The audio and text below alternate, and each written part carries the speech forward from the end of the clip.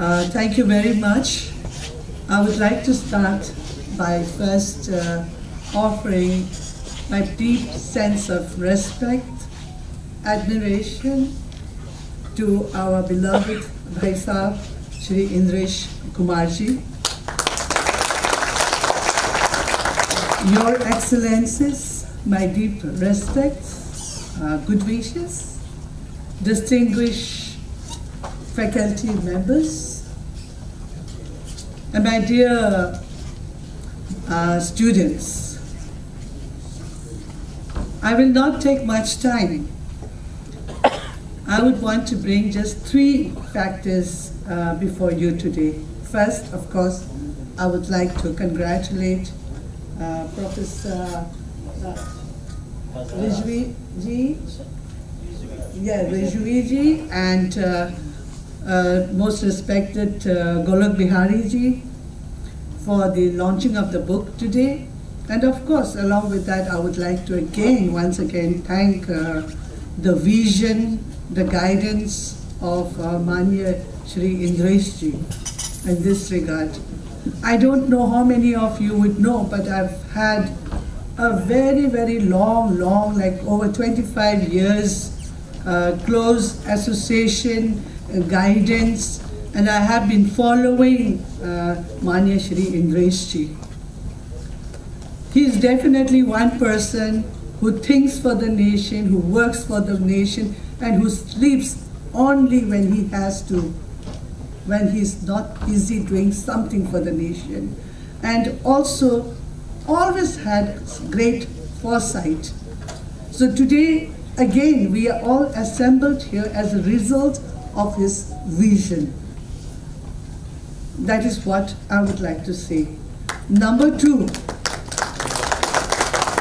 at the time, I'm sure when the author started the book also, we would not be able to determine the relevance of the book as it is today.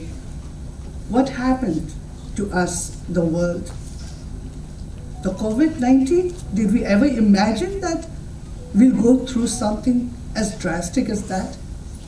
Which has affected every country, every nation on this planet.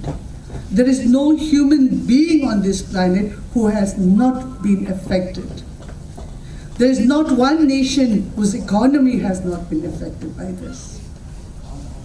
And the geopolitical changes, plus what is happening all around in the world today, this book, I would believe, is very, very timely At the launching of this book, I would like to remember and bring to your attention one of the nations of the Indian Ocean, Hind महासागर में जो बसी हुई है ऐसी एक देश का नाम मैं आप सब लोगों को याद दिलाना चाहूंगी आज श्रीलंका का What is happening there?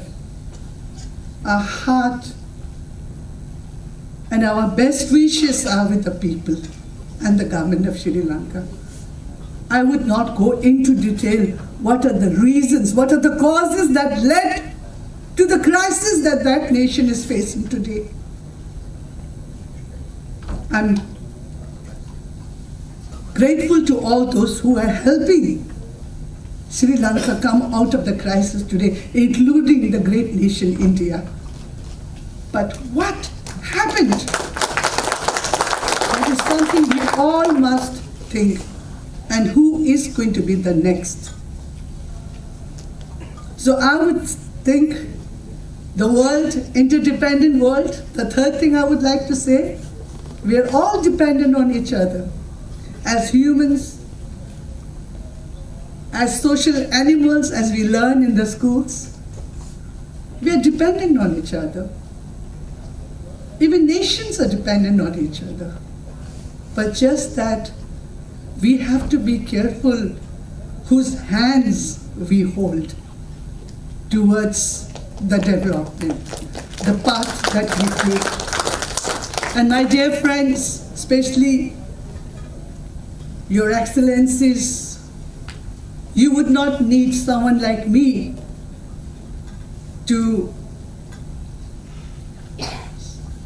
at least I think as a human being to human being, I can at least simply suggest And I would definitely say India is the hand you can trust and you can hold and walk together.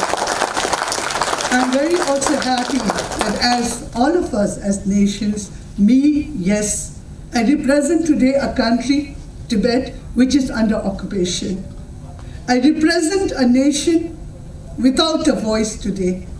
So all of us as nations, we go through our challenges, our difficult times.